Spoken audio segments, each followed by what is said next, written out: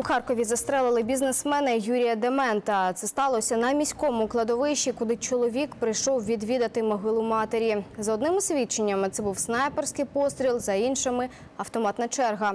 Юрію Дементу минув 51 рік. Колишній регіонал був найближчим другом і партнером міського голови Харкова Геннадія Кернеса. Зокрема, постійно супроводжував його на судові засідання у Полтаві.